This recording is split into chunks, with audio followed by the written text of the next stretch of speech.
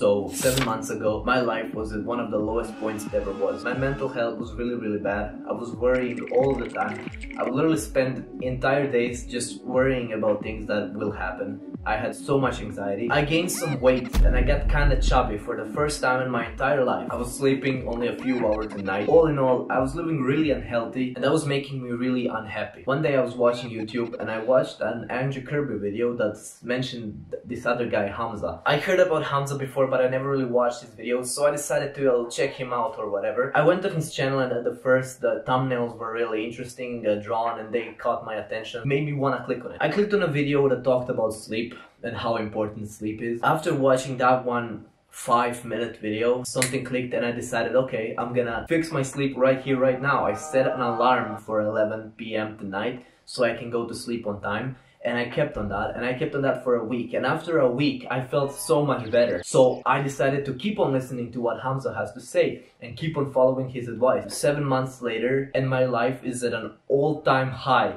like I'm literally the happiest I've ever been. I'm not even over exaggerating. I go to bed every night thinking, wow, this day was amazing. And that, that's completely different than what it used to be before. I was ungrateful, I was unhappy every day was horrible and I was thinking how will I even survive the other one? And Hamza played a huge role in that. However Hamza himself has said there will be a point where you need to stop watching his videos where you reached a level of self-improvement where you need to stop. You don't need him anymore. I don't want to preach about how I'm at some high level where you're not. I have a long way in front of me but I rarely even watch Hamza anymore. And I didn't think that was gonna happen but it was just I didn't even realize. I just lost interest for these videos. At first, I felt like that's that's a bad thing. At first, I felt like I should be grateful for Hamza and I should keep watching him for that. But he said himself that we need to stop. So I realized, even though I thought it was never gonna happen that I will stop watching Hamza, it happened completely naturally. And that's not a bad thing. I just distanced away from him as I grew in my self-improvement. And so I wanted to make this video as a thanks to Hamza, but also to tell you that if you relate to my old story,